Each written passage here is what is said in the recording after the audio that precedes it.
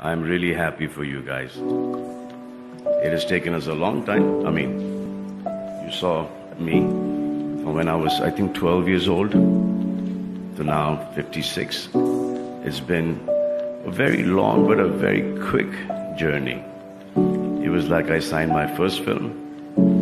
I think I was about 18, 19 years old.